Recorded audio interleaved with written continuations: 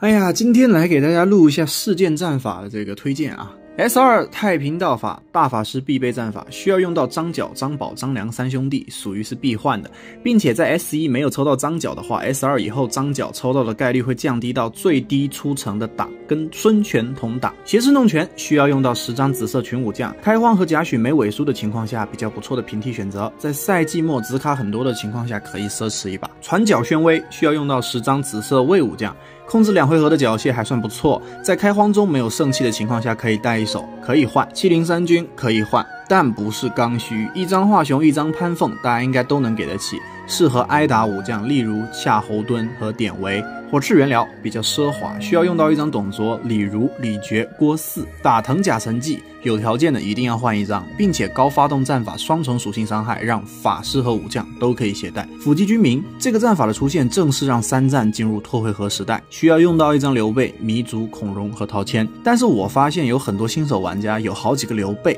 但是呢，把开局送的糜竺吃掉了，这波就血亏了吧？拓回合队伍的神技闭环战法，虎踞阴阳。适合平 A 输出的武将，需要用到孙策、周瑜、张昭，有条件的可以兑换一张，前提是你有阿香，是好战法，但不是每个玩家都刚需。仓廪丰实，需要用到十张紫色群武将，内政战法，给你家粮食官奢侈一把好不好？建议在赛季末紫卡很多的时候兑换。焚资营垒，前段时间的发动概率提升，依旧没有让这个战法变得更加常见，更多情况下其实也是因为兑换条件比较简单，任意群武将和任意魏武将才导致换他的玩家。特特别多，平民玩家缺法术战法的时候可以兑换一个鬼神廷威，需要用到一张吕布和袁绍，爆头期张辽非常刚需这个战法，但是爆头期只能玩一个赛季哦。